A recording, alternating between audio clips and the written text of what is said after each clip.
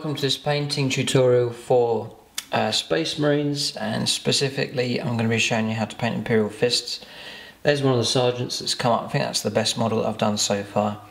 Really nice looking, uh, they come out really well. It's going to be an interesting tutorial this one. I'm going to show you how to do transfers and especially on uh, curved surfaces, absolute nightmare they can be. Um, I've developed a technique, I don't know if it's the best but it seems to work really well for me and I'll show you later on how to do those. There's a number of transfers on this one. So there's the Sergeant. Uh, I'm going to be showing you how to paint a regular Space Marine. Uh, so there's one of the Imperial Fists that I've already done. So I'm going to show you how to paint to this standard. And uh, this is the Marine that we're going to be painting here. So we're going to take this guy from start to finish. I'm going to show you every stage. And uh, what you need to do is follow along. Uh, do each stage, press pause on the video um, and then just follow it along. I encourage you just to paint one if you're new to this, uh, have a practice, and then when you're confident enough, you can start painting in batches. Um, I usually paint about 10 at a time. So excited about this video. Uh, I know that Space Marines are pretty much the most popular faction in Warhammer 40,000. Uh, the game wouldn't be the same without them. So uh, what I would say is that I'm doing these as Imperial Fists, but the basic techniques you can apply to any of the chapters. Uh, just uh, whatever colour you choose, green, blue, red, um, I would use the same technique as I'm going to show you here for this one. But yellow for the Imperial Fists is a particularly hard colour to get right, and that's what had put me off for a long time uh, painting them. But I've developed a, pretty effective technique for them, and uh, it's worked out really well. So we're going to show you from start to finish how to paint an Imperial Fist Tactical Marine. And you'll be able to apply this technique to uh, any units in the Imperial Fists and also the vehicles as well. Uh, it'll be the same technique, nothing changes. Uh, so if I show you this Marine, you'll be able to apply it to all the other units and vehicles uh, for the Imperial Fists.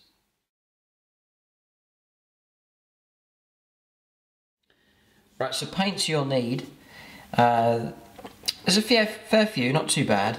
Uh, so we'll go for inks first of all, or shades. You've got the Agrax Earth Shade, it's the first one. And then Nuln Oil, and then uh, Seraphim Sepia.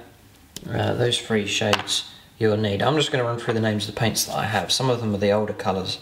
Uh, if you're not sure which colour's which, then just look up on Google, just Google search uh, Games Workshop or Citadel paint conversion chart and it will tell you the old paint names and then the new paint names uh, as I call these out. Those three there are, are the new colours.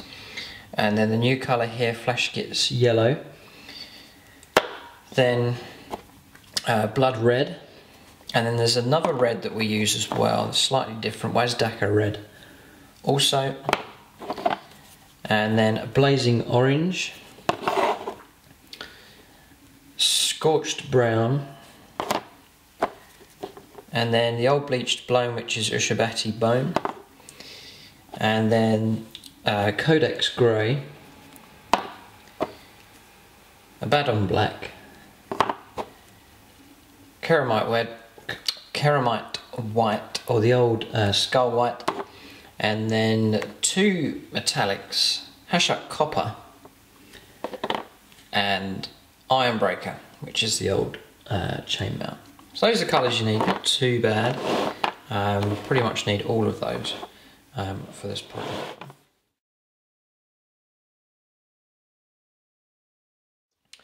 So that's the figure there, prepared and ready to go. Uh, so preparation is key for this, it's going to save you a lot of time. So what I've done is uh, I've sculpted the whole figure and glued them together and then I attached him to the base but what I do is you want him to remove the figure from the base uh, just for priming and colouring of the base uh, when you spray it. So I just put a, a, tiny drop of the glue on one foot I leave the other one loose and then just a small speck of glue just on the tip of the foot just enough to when it dries it holds the figure in place whilst you're doing the basing. That holds him in place there. And then the basing has just been done with uh, PVA glue and then I've got my sand and my stones that I sprinkle on top. Once that's all dry, I then snap the figure off and that leaves the base with the, the footprints in place and then the figure by himself. And the two are sprayed separately. So the base I spray with the dark grey that I use, the Stealth paint. So it's the Montana Gold range and the name of this paint is Stealth. It's like a dark grey. Uh, you can get these on eBay, I think I buy mine from. Uh, there's other places that stock them, but it's an aerosol paint, it's for graffiti artists. Um, so there's other websites that specialise in supplying them.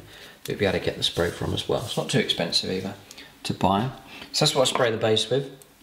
And then separate from that, uh, and the key here to mastering this yellow, because it is a difficult colour, uh, if you start with a dark colour and try and build yellow up, uh, it's going to look blotchy and it's going to be a lot of hard work and frustration. So what I've done here is that I spray this yellow and then really that base yellow isn't disturbed too much and it leaves it nice and smooth. Um, but you'll see that as we go along.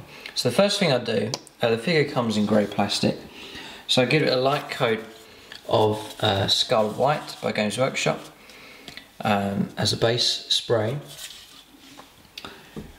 Now you're going to put two layers of spray on, so you don't want to put it on too thick. So it's just a, a coat that covers the figure, um, but not too strong. Then after the white is done, I'm using the Daemonic Yellow, and that's by uh, Army Painter. Perfect yellow for Imperial Fists, um, and I give it a coat of that. You don't have to worry about it being completely solid yellow. You'll see that that's it's quite strong, um, but it's not too thick a layer. Don't worry about that because you're going to fix that as you go along. But two light coats is enough. Once that's completely dry, you're then able to glue at full strength using the full amount of glue on both feet and then stick the figure back onto the base again and then let that dry completely and then your figure is ready to go. You've got your base colour for the basing done, your rim is the correct colour and then the marine is coated fully in the yellow paint. That gives you a massive head start. Preparation work is key for this one. Uh, and as I said earlier, if you're painting any other chapter, I would do it the same way. If you're doing ultramarines, then I would uh, do the bases, spray them, and then give the figure a spray of the blue, or green if it's salamanders, or red if it's um, blood angels, whatever. That's the same technique. And that just saves you lots of time, as I said, and then you're ready to get straight on uh, with the next stage, which is base colours.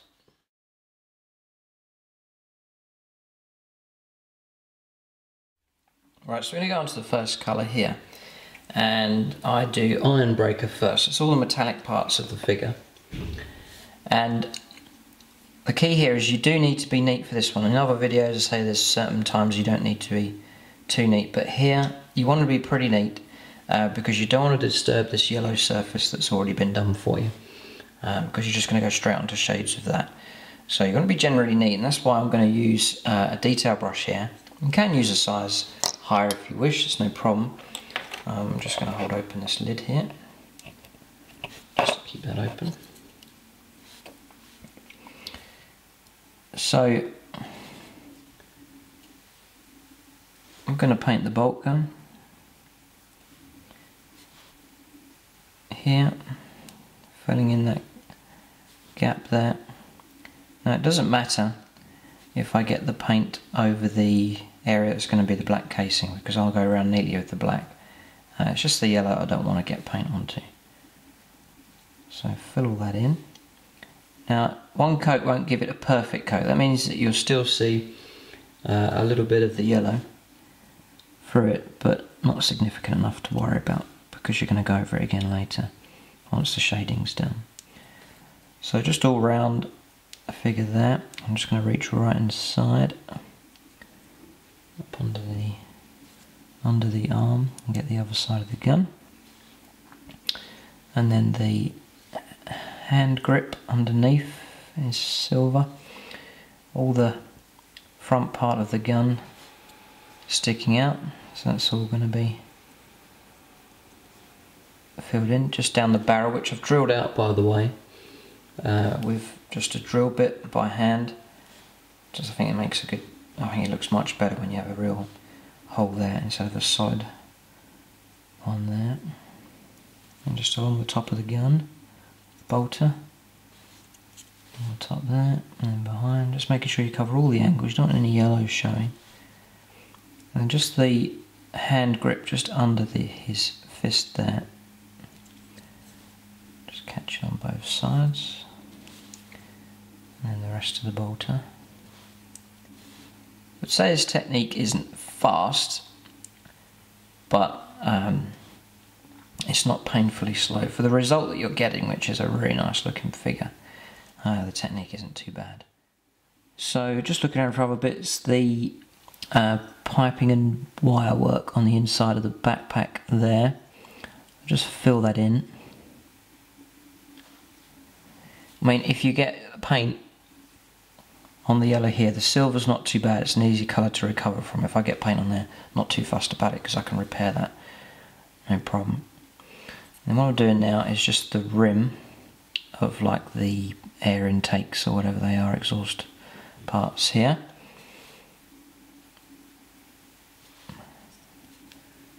So you can see that just running around. I'm being neat here. I don't want to make, make a mistake on this part. And then just filling them in. Solid. One and two. Probably base colours is one of the longest stages. There's a skull here on the backpack.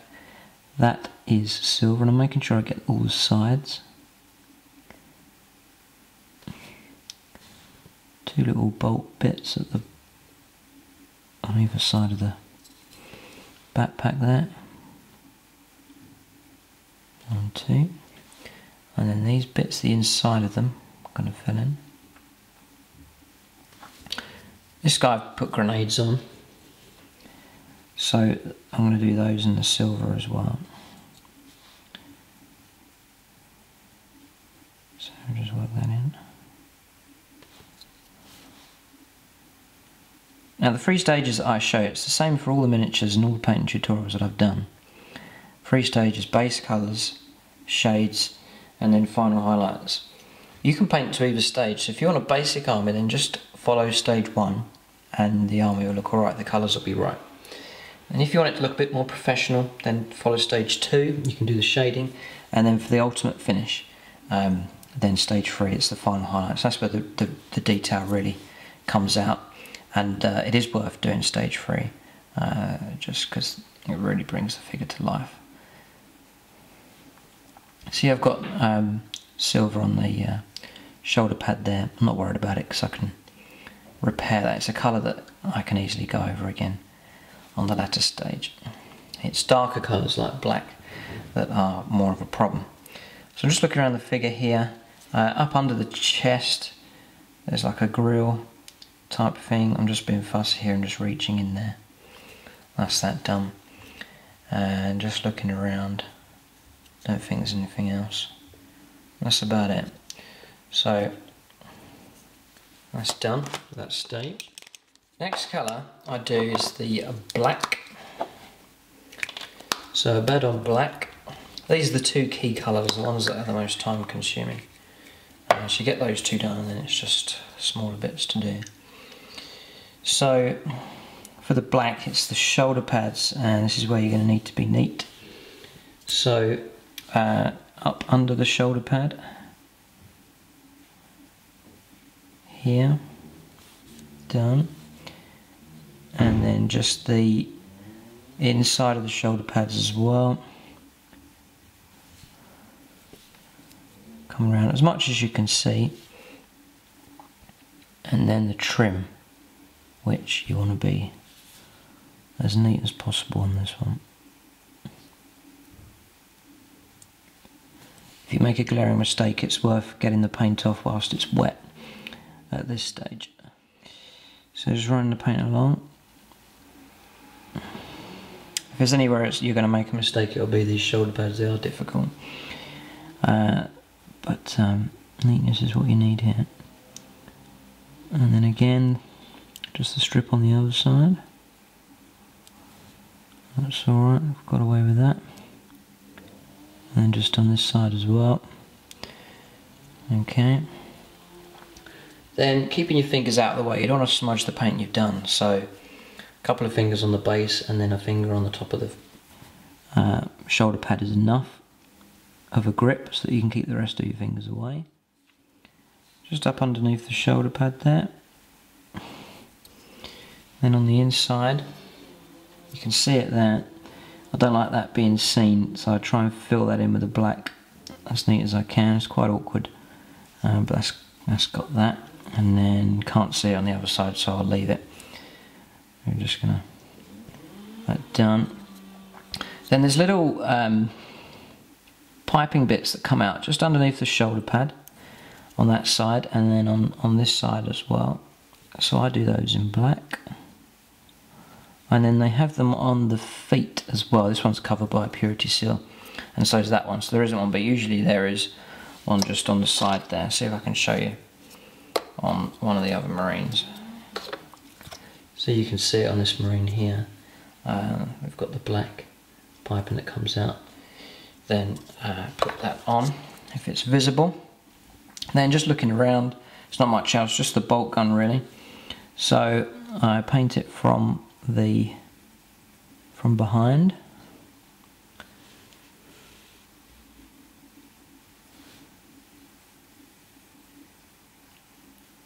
There, and neat now because you've done your silver. So you want to be neat with the black. That's coming on alright. Then just run along the top, bring it up neatly on top there and just tucking the black in there and then across the top of the bolter just there just like that and then this is the part where you need to be neat here. I'm just running the brush along around then here you get these two colours done and then the marine is already starting to look the part. Got this wing design here on the gun, being careful not to go over that. Just going to touch that in there. Then around the skull, along the top of the skull, that's fine. Tilting the marine up and just filling in along the top of the bolter. And it looks pretty good. So that is about that for the black, so that's that key stage done as well. Well, the next colour I'll do is the bronze, and I use that on the chest, and I just take some of the copper here and i put it on my palette because it's quite thick. I'm going to water it down. It's an older paint here. Uh, if you're using it straight from the pot, a newer paint, then you won't need to do this. Um, I'm just keeping that paint nice and flowing. Then onto a yellow surface, it doesn't look too bad. So, um, for the Blood Angels, for example, I was using a brown as a base colour, but for this particular one, there's no need for that. The bronze is strong enough, and yellow's not too bad a starting colour. Just run that around the chest, just like that.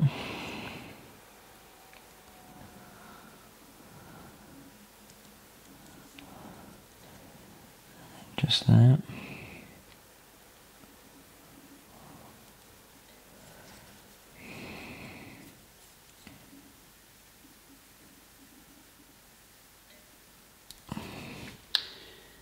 And it's looking pretty good. That is about it, so that's that colour done. As I said to you before, once the black and the silver is done, that's your main colours out of the way. Um, it's not too important now what colours I'm just grabbing the colours here I know, I know I need to do. I've got the Wazdakka red here and I use that for uh, sort of the, the red part of the seal on the purity seal and I just run around the model with that like so. Just notice something. There's a mould line on the figure here. At this stage it's not too late to get rid of that.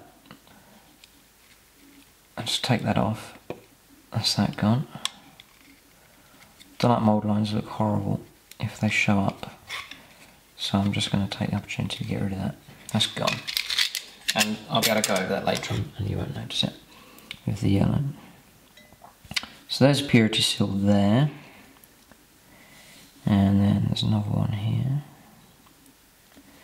I did put quite a few purity seals on the Imperial Fists just to uh, enhance them a bit more. I think it works it's quite nice. So there's that one all the way around. And there's another one here just on the shoulder pad that I stuck on. Me just run that around there. That's it. Uh, that's all the purity seals done. Then to follow on from the purity seals, you may as well, or the red, you may as well do the bone colour. And that's just on the paper part of the purity seal. So nice and neat at this stage, there's no need to make a mess of it. I just run around. That's one. There's one here. And uh, again, one coat of that goes on perfectly with that base yellow colour. See how quickly the miniature comes together because you've done that base colour of the yellow. You haven't got to worry about it, you can just get straight on with the surrounding details. Then the uh, ammo pouches and packs. I do all of those in um, a scorched brown. That's the old colour. Um, not sure what the new colour is called. Pigment on this one's quite nice. So again, one coat if it's not quite solid, don't worry about it because you will go over it again later on. So there's no need to worry about it if it's not entirely solid. And again, just sticking to the detail brush, I've got more control and I'm wanting to be neat here. The more neater you are, then uh, the less repair work you have to do. So, and it's not vast areas to cover with a brush, it's all just picking out features and details of the figure.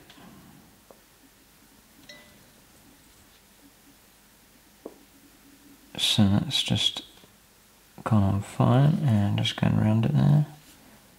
Sure I've got underneath. Done. Next colour is the red. And I just use that to fill in the eyes. Don't want too much water on the brush. Nice flow to it. And I want to be neat here. So I just take point the tip of the brush in, covering, doing both sides, so that I can get that in there nice and neat. And then just on the other side, point it in that end, and then point it in this end. And there's another colour which I should have done earlier, really, it doesn't really matter. I take the iron breaker, I've still got the base to do as well, but we'll count that in with the base colours, doesn't matter. Take my palette, and this is a dark metallic colour. Um, I don't like doing solid black and I don't like doing the silver. I like to mix the two to create a darkened, sort of a very dark sort of silver. So I'm going to mix in a fair bit of this Abaddon black here. And I use that on the the ribbing or the joins on the marine. So under the where the armour joins together, you see like a ribbed effect. I used that colour to fill those in. It just breaks up the yellow armour and uh, you need to do it is how it's shown in the book as well. It's it's not just silver which is too light, but it's not black which is too stark, and the shoulder pad's already in black. It's sort of a darkened silver colour. And this paint, I'm keeping it nice and flowing. But you don't want it too thin. For this one, I want it thick enough so that I can put on uh, one coat and then that's it. I'll not come back to it again. I'll not do any more to it. I'm just going to fill in the on the wrist there, just underneath the figure, just on the wrist. And then I know there's a, you can see it on the inside of the armour there, where the the elbow meets on the inside of the arm. Can't see it there. Then, because you've got a fine brush, you can reach inside the neck and then paint the join of the where the head joins the body there, just underneath the head. Then I also fill in the breathing mask and fill that in. Make sure I get all the all that cavity filled in nicely. Good. Then also, this is a fiddly part, the, little, the join on the backpack.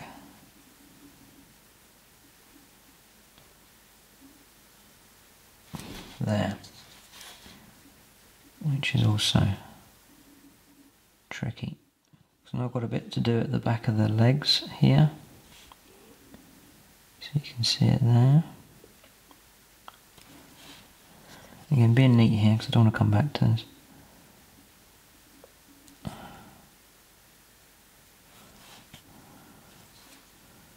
And here. There.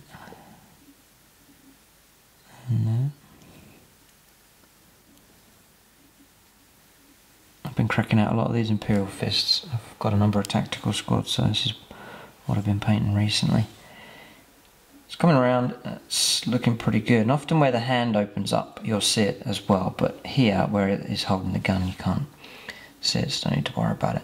But uh, that's your base colours for the Marine. I'm just checking to see if there's anything else. No, that's it. So, that's your base colours done. There. And uh, it pretty much looks the part. I'm just going to do the base here and you just need two colours for that. Start it off. The old Codex. Grey. And the white. And switch now to uh, you can use a standard brush or the next one up you can use a base coat brush. I'm going to use a base coat brush. And it's quite an old brush and it's a rough one. Take the Codex Grey and I just spread it out on the palette. I don't want too much grey on the brush and then I simply just highlight the base all the sand. Working it in I don't skim it lightly I just sort of scrub it into the base. There and there. And then whilst the grey is still on the brush there's no harm because you don't want stark white. Then I take some of the white mix that on into the palette and it's kind of an off-white now. It's not completely white. And a basic highlight all the way around there just gets that looking really good. It brings up the highlight nicely. Any mistakes just rub them off with your finger from the base. And that is it.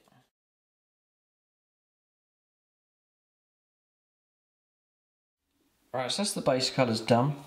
I'm going to go on to shading now. This is where having that base colour already done really helps out. You're just looking to shade the figure. So I'm going to use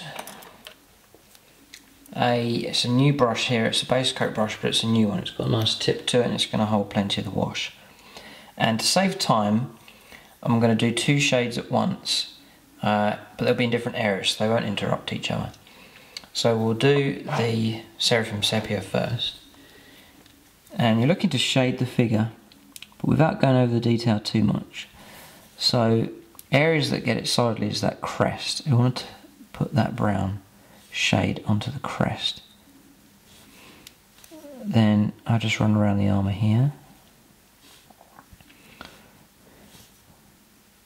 And then I'm being neat now, so I'm filling in the eye cavity and the details and then just the helmet and then that crack that runs up on the top of the helmet there. And then just along here. But I'm not covering all the yellow. There's no need to do it entirely. Just the areas that need it. This brush is quite big. If you find that you're blurring the detail too much and just switch to something else. Slightly smaller brush here. It just gives you a bit more control underneath the shoulder pads here in all the cracks of the armour. But the main panel areas, um, I'm not going to interrupt. We'll just leave them as they are. I'm just shading in the fingers here, holding the gun. Making sure I've just fill in all the detail.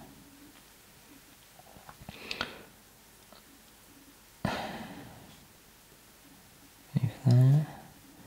And then in and around and behind the backpack, I'm not going to reach that area of the yellow much later on, so I want to make sure it's all shaded and uh, out of the way.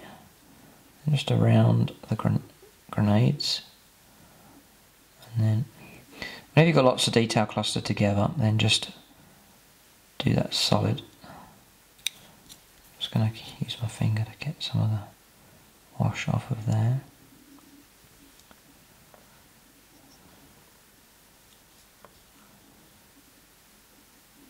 I'm going to fill in these holes with the wash.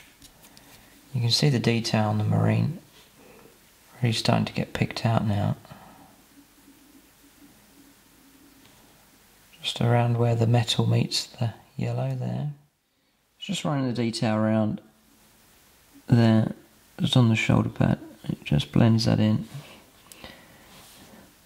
Then the purity seal, that gets a coat of the shade. We'll do this purity seal down here as well.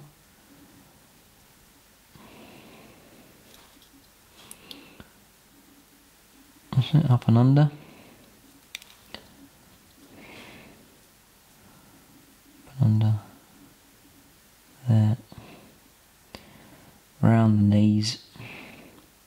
This shade, it helps to pick out all of the armoured pieces and all of the detail. And just around the feet, virtually paint the whole foot but just avoiding the big areas. See the big panels on the leg there? Just avoid them. No need to shade them in. Just make work for yourself otherwise. And then this purity seal down here just the red under the bone colour can all be shaded. And the same here. And then even the joins in the legs where you've gone over in that metallic black colour, just shade that as well. Just shading the ammo pouch there as well. Just it links the whole thing together. And we're looking pretty good. Just there in the chest I can see that the shade hasn't got in. That's it. And then I'm just going to stick a brush right in amongst there, wiggle it around. Make sure that's all shaded. There, so I think that's pretty much it. And you can see now that shade has really enhanced that figure. I'm just getting in behind the backpack there. I can see here a bit more shading on the backpack to do. That's it. Make sure the eye sockets are filled in and you can see how nicely that figure has come out. Just that simple shade and that has brought it to life. And the last part of the Seraphim Sepia is just the shading on the base and you just blotch it on. Make sure you cover the feet. Uh, I put the shading all around there and then just in patches on the rest of the figure. And that just brings that grey to life a little bit. Um, adds a bit of colour to that base. And that's that done, that's the sepia done. The other colour I've got out at the moment is the Nuln Oil. And that's obvious where that's going to go. This is for the bolt gun. I'll just run that across the bolter and that just picks out all the detail again and shades that nicely. It's a nice general coat, making sure I cover the whole thing. And again, that's good. And then making sure I dab in paint so it fills in that hole where the barrel of the gun is. Then up inside, behind. That's good. And then just looking around also do the grenades at the back here, fill them in. And that's that done. And then I do the grills here. Fill them in as well. The skull on the backpack, fill that in. And that's about it. I can fill that in with the black as well. So That's that gun picked out as well. So that's the first two stages. Uh, there is one, the Agrax Earthshade, we have to do after, but that has to be done once this figure is completely dry. So we'll leave this one to dry, and then we'll do the final part of the washers next. Right, the next step is the Agrax Earthshade. It's the last stage here um, for the shading. And again, the crest, and when you put this layer on, it will really pick out the detail for you. Uh, make sure you get it all the way around and where it actually joins onto the armour as well. I'll make sure you get that part. And then any area where there's strong shading, so I'm just going to put it around the armour here, not going to bother in between the arm, um, just around the fingers again, where there's a, like a strong amount of shading required. I'm not going to bother around the shoulder pad, this, the Purity Seal uh, the red part here is going to get it again and then just in between the gap there but I'm not going to cover the whole of that purity seal. Don't need it. Then just around the other purity seal here. Just in the gap in the knees is quite a strong colour. There in between the feet. Um, but again it's not compulsory to do the entire thing. Eye sockets, other parts of the helmet, uh, the metallic parts on the side of the head, um, definitely on the inside of the backpack there, all that wiring and so on, gets a nice shade there, it's all filled in. Then the metal here, the grill. Now you notice I'm going over the metal here. So what you're doing is you're introducing a little bit of brown and that just helps age the metal a little bit. I want these guys to look like they've been on campaign. They've, you know, they've been fighting. They've fought a thousand battles on a thousand different worlds. So I'm really shading that in and adding to the effect. See the holes here? I'll fill those in again with this shade and that really picks them out. And then just use a finger, take off the excess ink. The grenades, they'll definitely need to be shaded deeper colour. So I fill them in and then here the ammunition pouch as well on the front and behind. The grill on the back.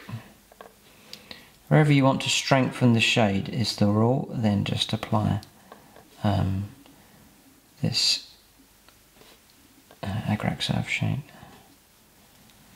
just going around this one. Purity seal and then the bolt gun itself as well. A second shade onto that. Will pick out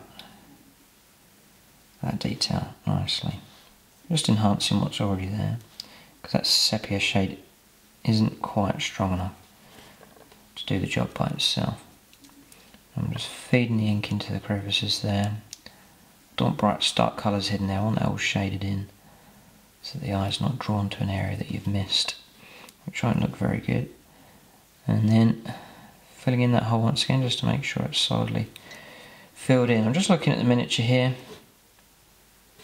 Looks alright. Everywhere's shaded in. So that's that finished. Now you've completed the second stage and that is uh, looking really good. The details picked up. Look at that backpack; it's come up really nice. Um, just with a few simple shades there. Uh, and if you wanted to, you could leave it after the second stage. You've got your base colours on, and then you've got some shading effects on there, and that that force would look really nice.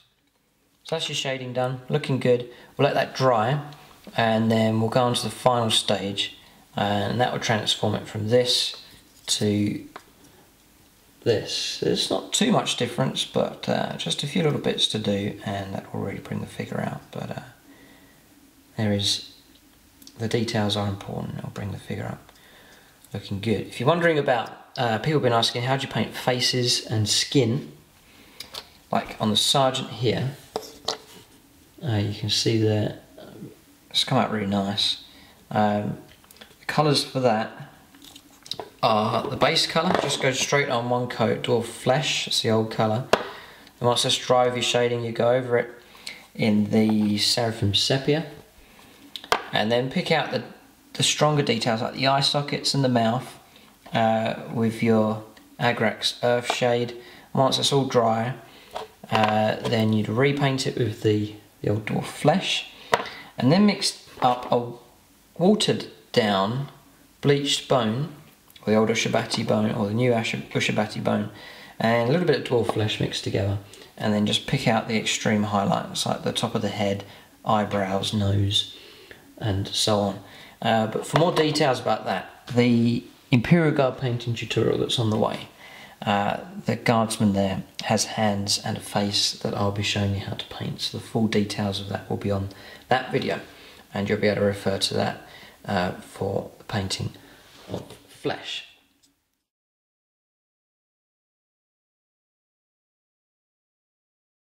Right, so we're on to the third and final stage now, that's the final highlights and this is where you're going to make the miniature really come to life.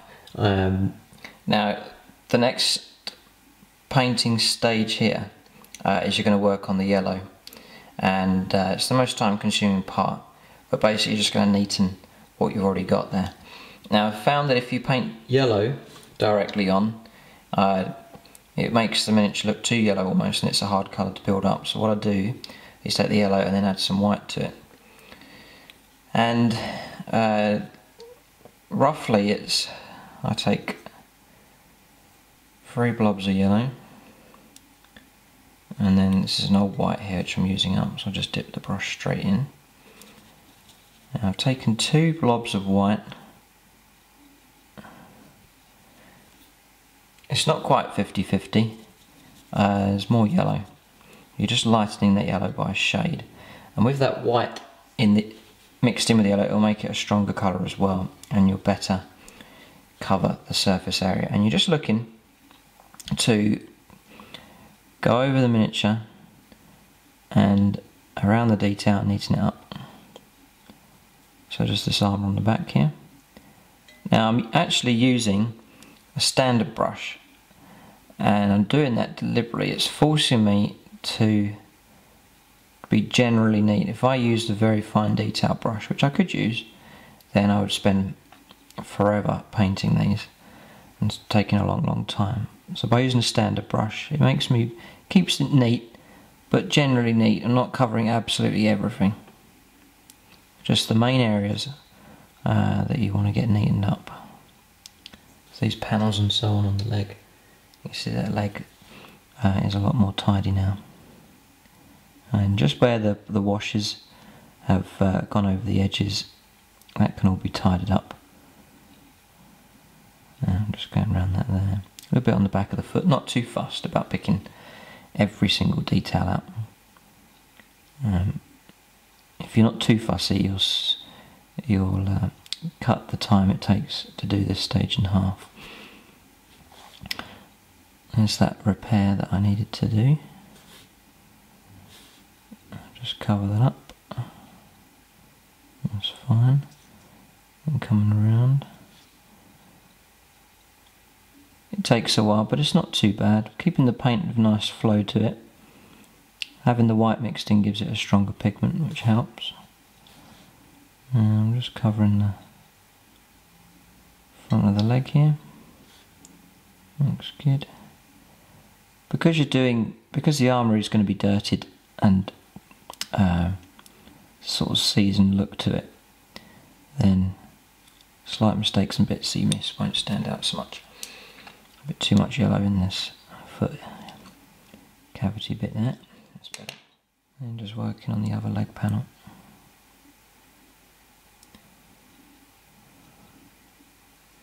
So again, all the yellow.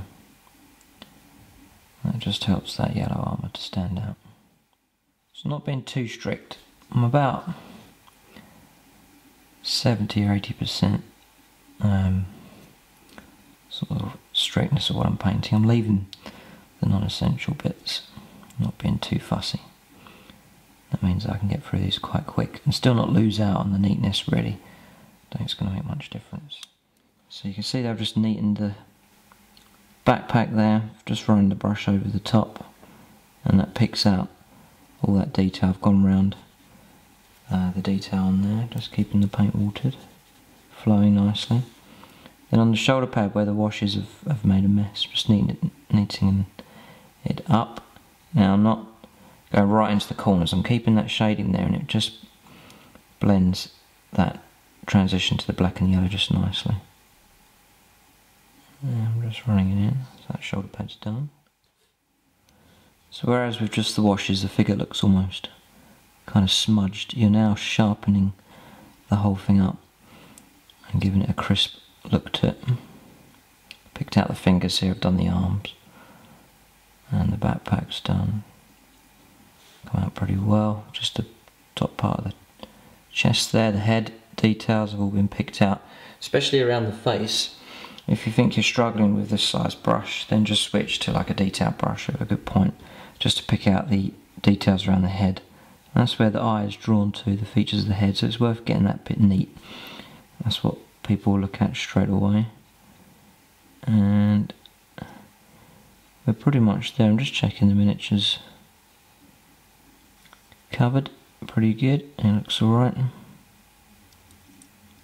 It's easy to miss a part. But uh, no, that's done. So, you can see the details picked out again there. It's all enhanced and sharpened up. And uh, that's brought that yellow to life. And it's, you can see that it's not, it is a different yellow. Now, now you've added that white. I think pure yellow like this is too strong. Too strong looking, it clashes with other colours, it's quite overpowering. Uh, but that off yellow, when you add a bit of white, um, just creates um, a better shade, I think. And the shading helps keep it um, toned down, so it's not too stark looking. I think it looks quite good. So that's that stage done. Uh, that's probably the longest, one of the longest stages to do. Now, when I got to this stage uh, of painting the Imperial Fist, there was two directions I could go in. The first was to uh, highlight the details. That's where you, you mix up a lighter shade, like a, uh, you mix more white with the yellow and you pick out all the details. Just a standard highlight. Um, I wasn't too keen on that idea. The more white you add to this, and the more stark it would get, and the more uh, it would not be yellow. So instead, I went for a, a chipped effect here, and that's a good idea because it saves you having to do that highlight that takes ages. You're just adding a few chips on and uh, that also adds to the effect of the figure uh, looking quite seasoned and sort of battle hardened. If I just bring the figure in here, you can see it. And you can see that sort of chipping effect on the armour, and I think that looks a lot better. You're actually making the armour look metallic and, and um, armoured and reinforced, and that's the effect you want with Space Marines. They're armed with power armour, and uh, so you want to create that effect. So what I do, I usually do the chipping last, so we're going to, there's a few other colours and bits to do, and then uh, we can do that last stage. Next colour we'll do is the, we'll work on these purity seals here. And for that you want the Wazdakka red and then just the white again. There's two ways of um, highlighting white. You can go mixing it with white to make it kind of a stark pale pastel colour uh, or you can highlight with orange to make it a warmer colour and that's how I split these two reds. The reds for the eyes are going to have that more orange look to them and then the purity seals are going to be more of a stark uh, pastel highlight and that will split those two reds and keep them separate. So it's just Wazdakka red mixed with about one third white will do. I don't repaint the base colour I'll just go straight on with the final highlight. And I just highlight just the crest. There, maybe a tad more white. And maybe you worry about it looking too pink. It won't look too bad as long as you keep the original red on some part. I'm not going to touch the middle, it's just that edge of the crest there. And that's come out nice. And then just here on the shoulder and then just that raised skull in the middle and then again the raised skull and a bit there. That's that done, that's a quick one. So you imagine in a batch of 10 you're just mixing up one bit of colour and then just flying through that. And uh, that's that, the wax part of the purity seal done. You then want to go, uh, keep the white open, go to your Ushabati bone or your bleach bone, and then just straight from the pot, give, recoat the purity seal in its original colour, but just keeping the details. So just run the brush over the top, along the side there, like so, and then just here on the shoulder pad, solid colour, just catching the edges and underneath, and then one down here by the feet.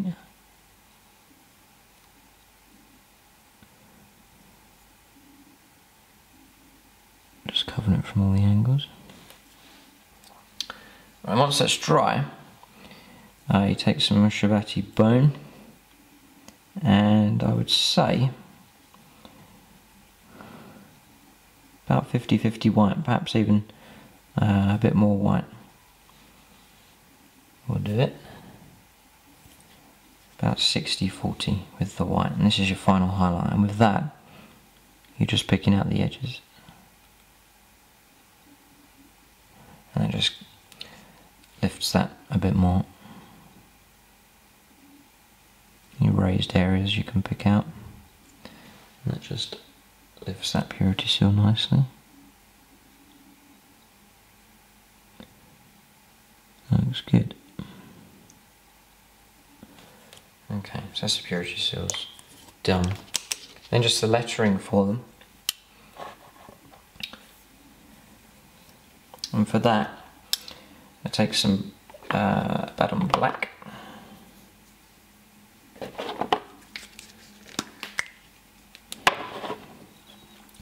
Now I used to do grey, but I've found you're looking to make it a weathered, faded look. Painting on straight black is too stark. So I take a brush with a very nice sharp tip, fine detail brush, something with a nice thin tip. And then I take the Ushabati bone again and mix that with black instead. And it's kind of warmer grey colour. Small black needed. It's like a dark warm grey as opposed to a black and then watered down quite significantly. That's about right. You can see it there on the palette. And then with a nice sharp tip I just paint on the lettering. It's just a case of like sort of shaking with the brush very small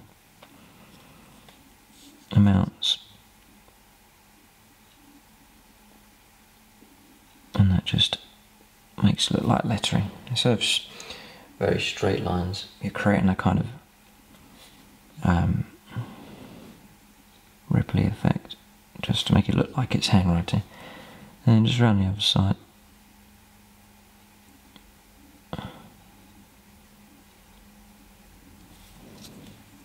It's going alright see how that's not quite so stark as just solid black and because it's watered down a little bit it creates a little bit of fading on it as well which adds to the realism so this is going on really well and those purity seals are being picked out really nice. They're a nice feature to Space Marines, it's worth doing them well.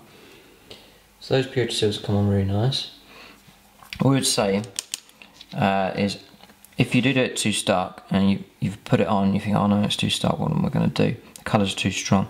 Just take some Ushabati bone, water it down, and then just put a glaze over the top, very watery effect, and that will tone down the colour and it won't disturb what you've done underneath. So by all means do that. That's purity seals finished on him. Next colour is the bronze on the chest. So you take your Hashut copper, and again, just one highlight for this will finish that stage off. And I take the old Mithril silver, and I'm just going to mix those two to make a final highlight. I'm going to use a standard brush here because it's not going to be, you could paint the highlight on uh, but that will take you a long time. So I try and just do a dry brush over the top. But like a wet dry brush, if you know what I mean. There's still plenty of pigment on the brush. You're mixing the Hashut copper with the silver. Um, so you're making a, a silvery Hashut copper. And then I'm just running the brush over the detail. Because that brush isn't too overloaded, it's just catching the highlight and it's not filling in the detailed area. And you'll see that just picks that out. Just nice, you can see now that single highlight's enough to pick that out. Not much effort there, all you've done is your base colour, washes, and then a final highlight to pick that out and it looks great. So that's that part finished. So the miniature's coming along really well. Uh, just that highlight there on the crest has come out really nice. Right, it's nice and simple. Just the base colour and the wash and then the final highlight is all you need and it's created a really nice effect. Um, so just looking at the miniature there's not much else to do really. Uh, I think we'll do the eyes next and it doesn't matter what order you decide to do things in. I've I'm going for the eyes here because I don't want to put my fingers on any wet paint that's drying for these ammo pouches at the back. So I'll show you how to do the eyes. Right then, for the eyes, it's actually quite straightforward. You've put that base colour in of the blood red and then you've shaded it with the two washes. So the shading work's been done for you. So just two colours, the orange, which I take some on a nice fine tip of a brush and I tuck it into the corner. Here it's the front corner the one uh, the front part of the head. And that just highlights that. Just lifts it. You think you wouldn't notice it but it does. It helps lift that out.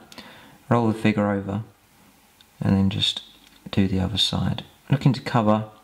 Tucking it in the corner. About a third of the eye gets that the front part and that just lifts that highlight there that's that done and then I take a very fine tip, dip it in the white so I've got a tiny little ball of white on the end and then I tuck one dot into the corner of the miniature, just there. I roll the figure over, just touching it into the corner, that's better. That's placed nicely. So you can see the two dots in the corner and that just brings those eyes to life. They look really good and uh, that's all that's required for the eyes there.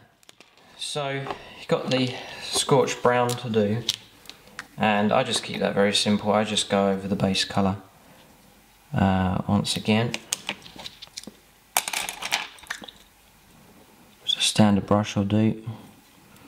I'll just go on nice and solid with that colour.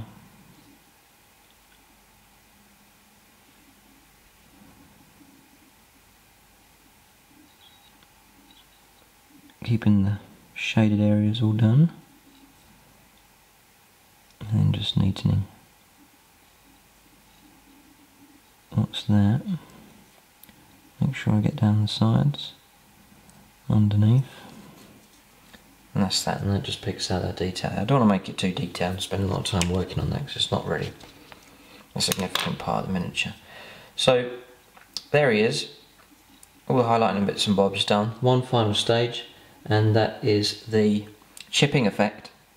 And uh, that will really enhance the figure. You could leave them as he is but just that chipping will help create uh, a seasoned look. Right so chipping effect, just on the Ironbreaker again and it's the same colour throughout, not, you don't need to switch to any other silver which is handy. So on the bolt gun you can do that first, doesn't matter I'll just pick out the main details. There's that skull on there, run that brush along the wing. And you can see it just enhances the metallic parts.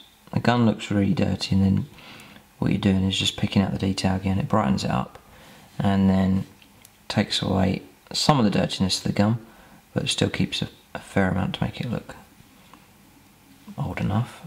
And then just detail on top of the gun there. Roll the figure over.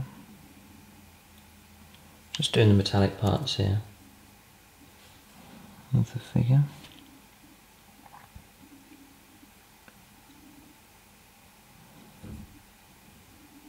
Looks good.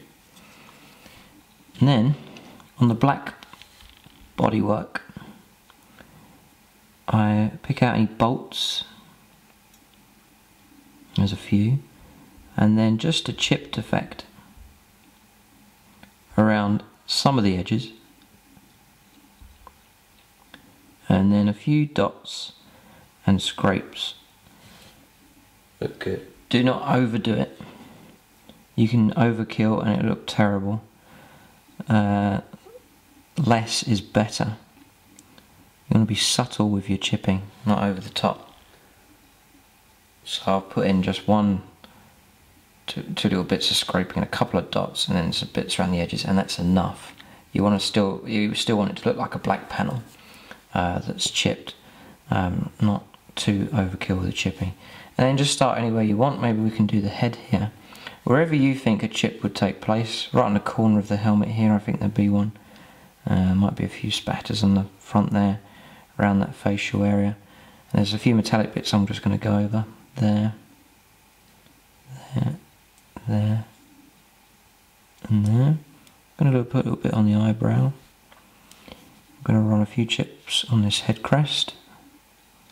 And then I reckon I'll do a scrape to choose an angle and then just run the brush along it.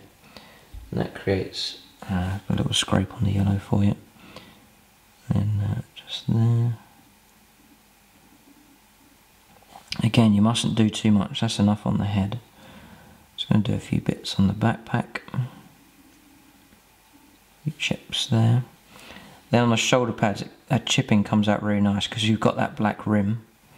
Uh, that will pick up that chipping really good. And then a few spatters on the shoulder pad. A few spatters there. And then again just picking up some chipping on the shoulder pads there. That looks alright pretty good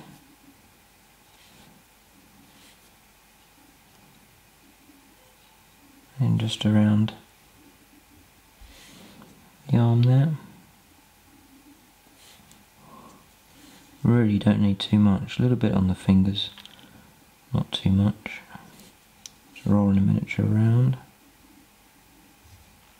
Elbow pad gets a bit, a little bit there. So there's three things, there's edges to chip, there's spatters which is just dots on the brush, and then uh, scrapes which is just a, some brush strokes to see where it's uh, scraped. I'm just working on the legs here. So up round where the knee joint is, there'd be, I think there would be a bit where he's knelt down and fired and fallen over and so on. So I'm going to put a fair bit of chipping on there. A few scrapes maybe on there. On there. A couple of bits on the thigh area, not quite as much. Some chipping around the feet. feel you have to do loads. That's the key with this one. Less is better. And even around the shoulder pads there, perhaps I've done a little bit too much, but it doesn't matter so much. It's not too bad. A little bit chipping there. A bit chipping there. A couple of dots on this ammo pouch, which would be metal. Just pick them out.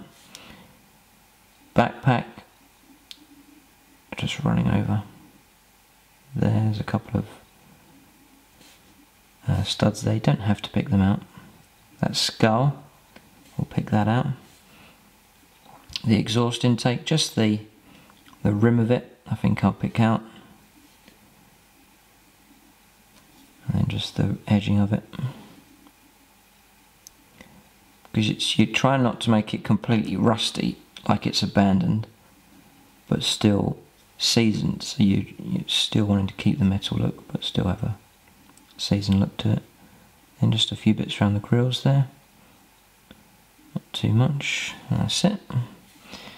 Then around the back of the legs here, a few chips here and there will do. That's pretty good. The grenades, pick out a little bit of detail on them. That'll do. And then just some chipping uh, around the feet.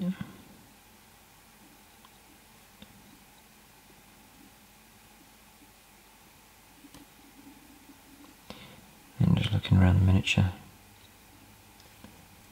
to see if there's anywhere else. Not really. So that's that done. Didn't take too long, but it can take a while when you've got 10 of them on the go. Uh, but that's his details picked out. One other stage, you can do it if you want. I have been with these, and that is I take the Agrax Earthshade and then with a, an old brush, old stipply brush, I just apply a wash to around the feet. I just think that area would be dirtier if they've been on campaign. So the feet get a wash. And then, with not too much ink on it, I just sort of stab some splatters halfway up, or just under halfway up on the leg, if you can see that coming up. Just a few splatters there. And I think that just weathers it a little bit better. The feet wouldn't be clean as much. Have some splattering on them from all of the uh, marching they do and combat and so on. There. Yellow's a good colour for doing all those kind of weathering effects. It's nice and bright, so it will pick up that kind of detail. Other than that, he's done. And uh, I think he's come out really well. It looks good. See the armour chipping effect there, your colours are done. Once those base colours are done, you do spend a little bit of time doing the silver and the black. Once your washes are on and you get past that yellow stage, then uh, there's only a few bits you to do on the miniature. So the key part for Space Marines is that the overall colour scheme, that colour, whatever colour it may be, red, yellow, green, blue, uh, mastering that and then the rest is just minor details. So he's come out really nice. Um, just the last part to do on him uh, is the transfers, which I'm going to show you how to do, and then also just finishing off on the base with the flock. And once that's done, he's ready for varnishing. We'll go on to transfers here. I'm going to show you how to get the transferring done. There's our finished miniature, and we've got some transfers to apply. So you can see the transfers there. Uh, probably one of the most impressive parts for Imperial Fist. It's important you get it right.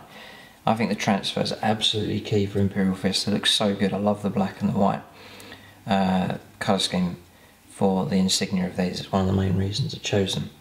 Um, and the black and white time really nice for the fifth company with the black shoulder pads.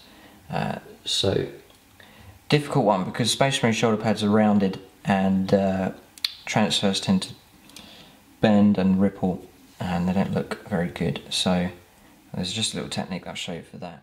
So I've gone and bought myself the Forge World uh, transfer sheet. It's a huge an A4 sized sheet. You get loads and loads of transfers. You get all your vehicle stuff on there, and you get all of your tactical squad markings as well. So uh, that was important. I think it is if, if you're going to collect one of these chapters that requires uh, these transfers, then get the sheet from Forge World. It's worth doing. Um, so I've got that at the start, and I've been able to apply those transfers on.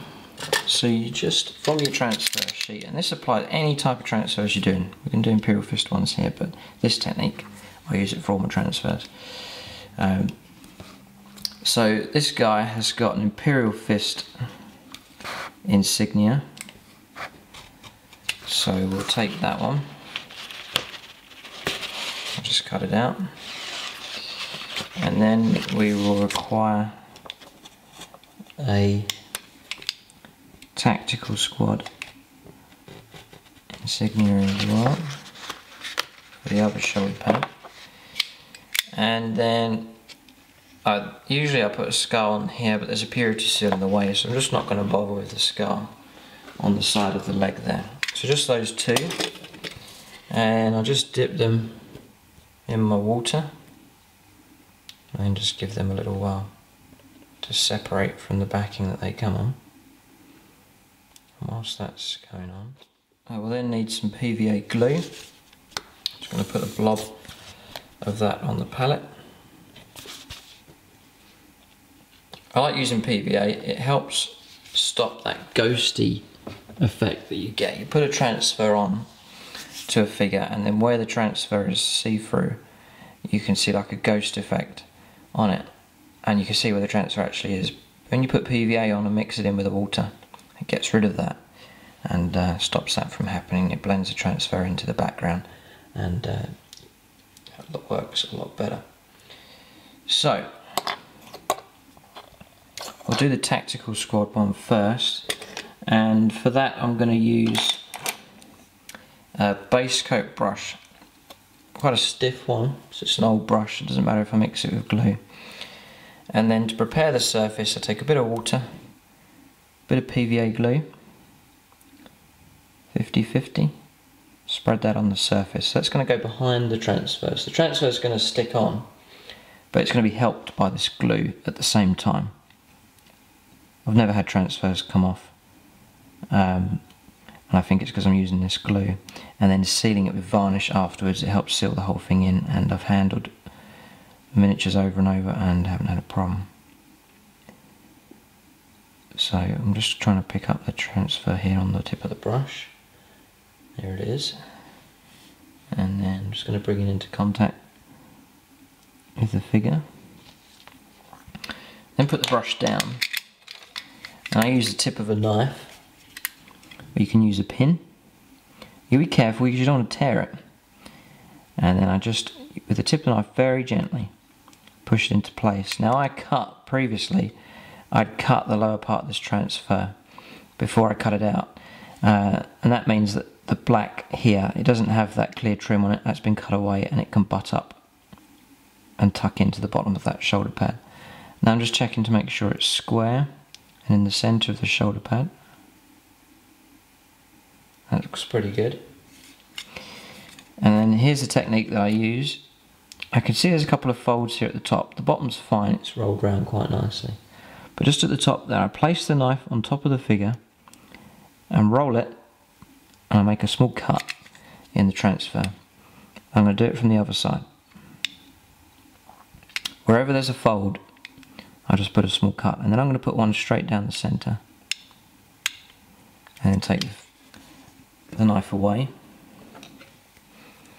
And then with a dryer brush, I take some more PVA glue and just start applying that to the surface of the transfer, going in the direction of the cut, and that just pushes the transfer down. And now where those splits have occurred, uh, the, the split, the transfer where it's folded, has instead started to overlap just enough so that, that fold is taken away and you can't see where I've cut. I've only done it very gently, just enough to split the transfer and now that has wrapped itself around the figure very nicely indeed. I used to dab with a tissue to dry it off. Um, I don't bother with that anymore, just patiently just leave it to dry. I found I was putting tissue on and the transfer was coming away, the tissue was sticking to the glue. So just don't disturb it now. Any excess water that you have, you just take a dry brush and suck it up and then just coat with the glue to keep it in place.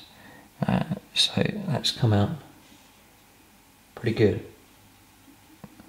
Very good. Okay, so go to the next side and we've got difficulty here because we've got this transfer and then there's a purity seal right in the way. So I'm going to have to deal with that. So again, some water. You notice I'm not using absolutely loads of it. Um, just enough to keep it wet. You have to move quite quick. I don't want this to dry. So the PVA and the water just going on. Add a bit more. Then I take the Imperial Fist insignia. Quite a big transfer this one apply it onto the figure, lose the excess water, and then I'm going to use the knife to position this now. And you can see, this is a fiddly one. This purity seal is right in the way. So what I'm going to do, holding it in place, I'm going to cut around the purity seal with a knife and then from the other angle just going to roll it along And I'm going to remove that part of the transfer that's in the way. And then with a knife again, I'm going to play around with it to move it into place.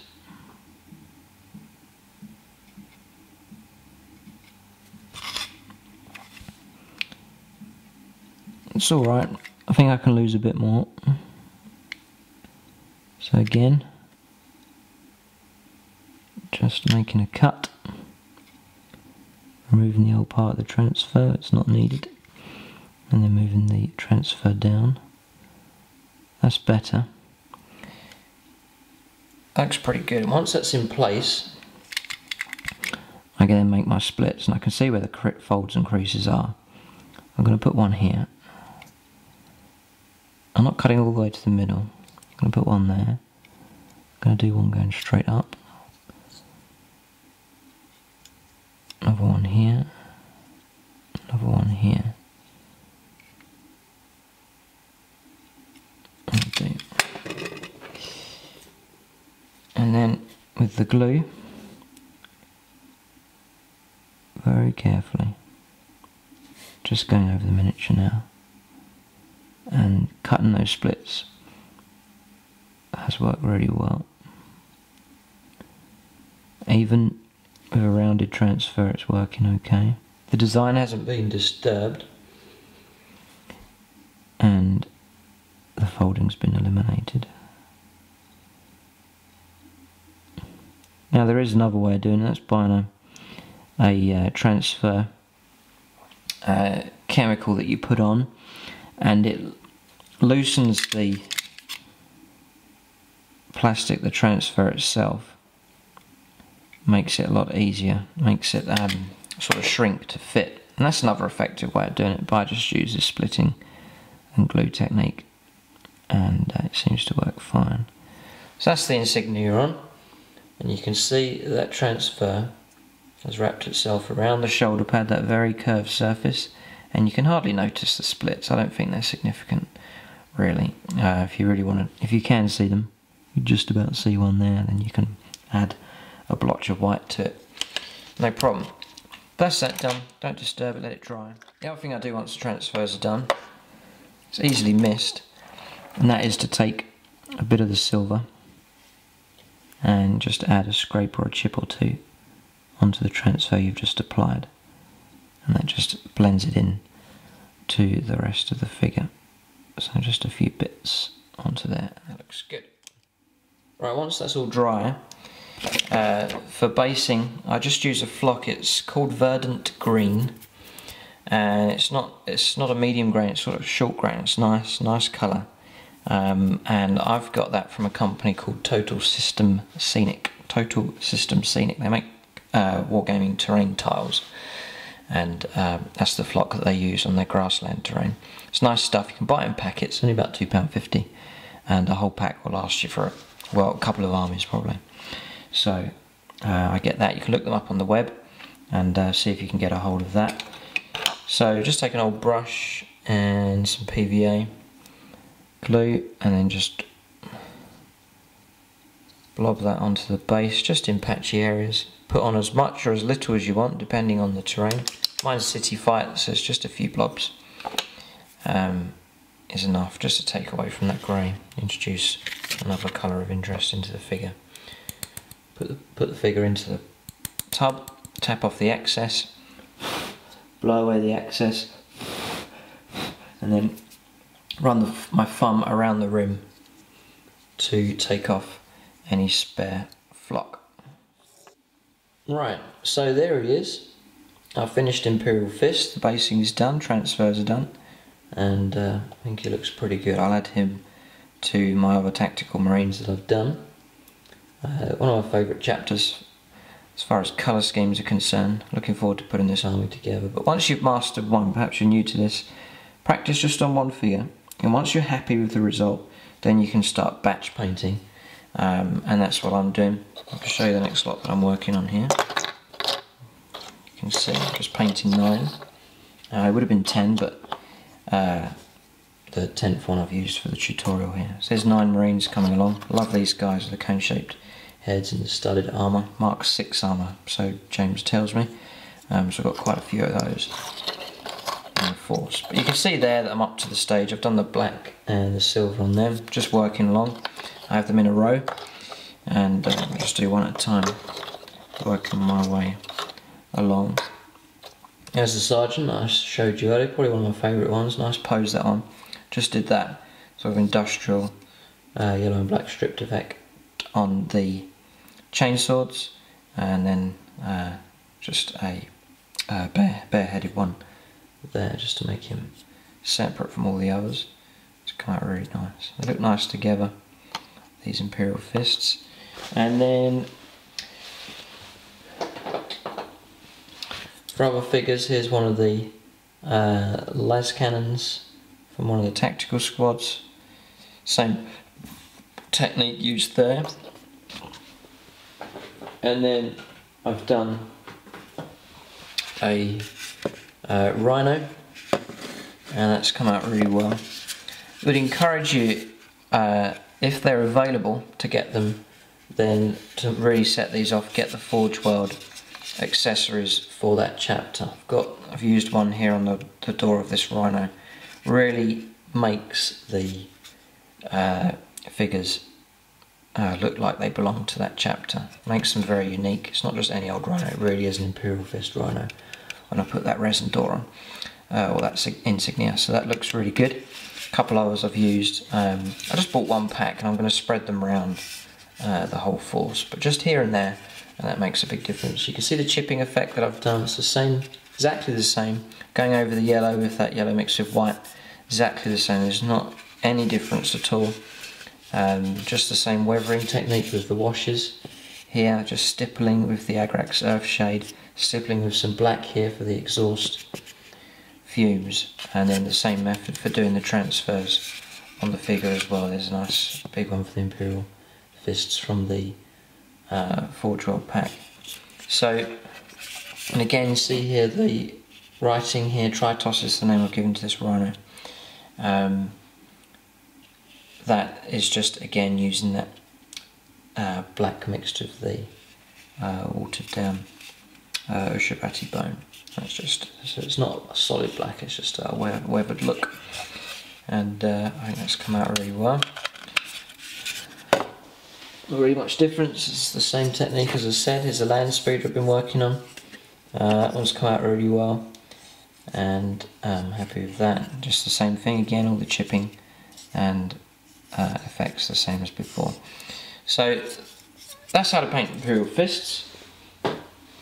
Really nice force to do and hopefully you've seen how in this tutorial you're able to master that yellow which is a difficult colour but uh, with this technique I think you'll be able to make a good success of it. So that's it, check out my channel for other painting tutorials, uh, plenty of others out there, there's a Eldar tutorial, one for Tau, Orcs, uh, Blood Angels, Dark Eldar, and Necrons. A lot of tutorials out there. It's the same um, format. I'll show you exactly how it's done. You just take a miniature, follow along exactly, and uh, there's no reason why you can't paint to the same standard as this. And uh, enjoy painting your army. It's that's half of the fun. Is uh, having the satisfaction of painting a force and then having the joy of using it in games. So thanks for watching this tutorial. Uh, look out for this army featuring in battle reports in the future as it builds up.